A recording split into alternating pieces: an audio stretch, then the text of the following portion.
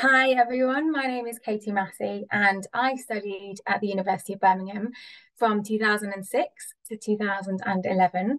I studied a BA in modern languages and I chose to study German and Italian. And I then went on to specialise um, working in the education sector um, and then furthermore into girls' rights and gender equality. So I am now a consultant in girls' rights um, and human rights. Um, and I do that uh, both as a, an independent consultant for myself um, and I work for various charities and NGOs as well.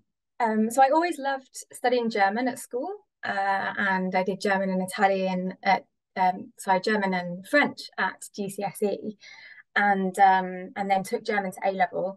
And when I was looking then at my university options and um, and subjects I could study, it was between German and English literature. And when I then really looked into courses, I thought, well, actually, I could combine those two passions. So the passion for speaking a language and the passion for literature by studying German, because there are options to not only learn to, you know, develop my language skills, but also um, to take modules on German literature. So um, that's how I decided on speaking German and studying German. And I knew I wanted to do a second language with it.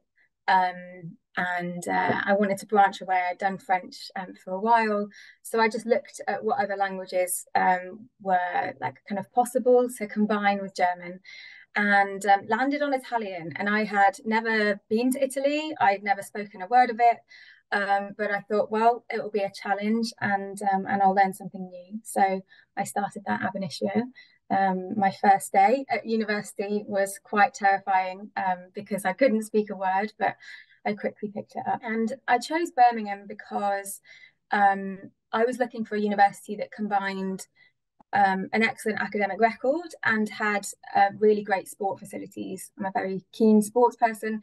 Um, I played very high level hockey um, all the way through my school years.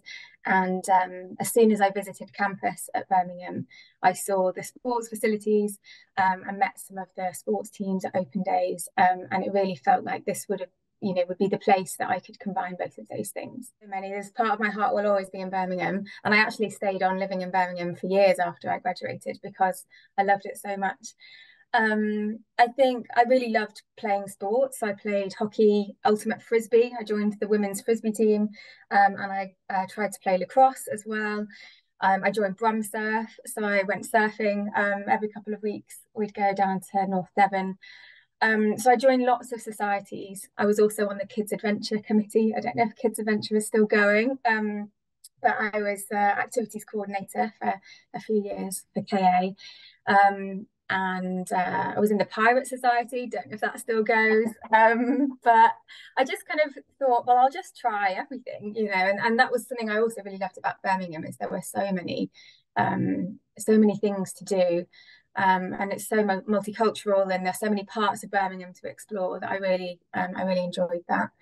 Um, I have really fond memories of Selly Oak um, because I uh, had a role there um, while I was at um, university of being a community warden with the guild. and so we had a campaign called I Love Selly Oak, and what we really tried to do was foster great relationships between students and the residents. And we'd put on pub quizzes to raise money for local charities. And we'd go around door knocking in Selly Oak for hours and just chat to everyone and see, you know, how they were and how we could make Selly Oak a better place to live. So I just feel like I really threw myself into every possible way of, you know, like in, enjoying life, um, enjoying life there.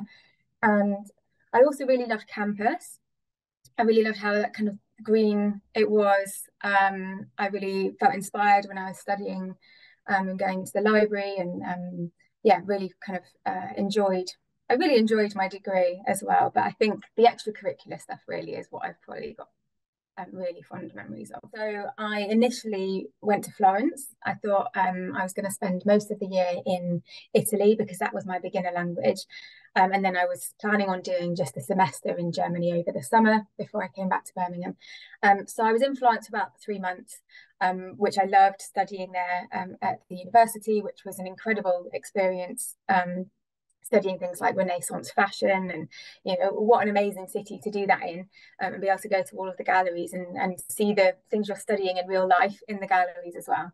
Um, so I really, really loved that. Um, but yeah, I got quite unwell, so I deferred my year, the rest of my year, um, and then restarted um, the following year. And I then decided to split the year equally. So I went back to Italy, but went to Ferrara instead, so in the northeast, um, kind of between Bologna and Venice. And again, I was studying there, um, and I preferred it there. Actually, it was much easier to speak Italian. Um, Florence was incredible, but there were so many tourists um, that everyone wants to practice their English with you. Um, and it's quite easy when you feel a bit nervous about speaking Italian that you can just do that. But in Ferrara, um, yeah, lots of opportunity to speak Italian. Um, and then I went to um, Erlangen in the south of Germany in Bavaria um, and did um, a semester there.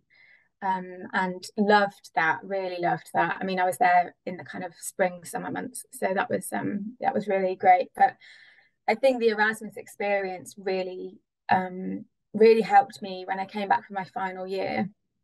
Really helped me recognize why I was doing this degree, um, and I wasn't just sitting in a classroom trying to learn, you know, conjunctions or verbs or anything. It was actually I'd gone and experienced what it felt like to be able to speak to someone in their own language. And then, you know, that made me want to work harder. So yeah, I came back in my final year of lots of um, motivation to um, to really work hard and, and get the degree.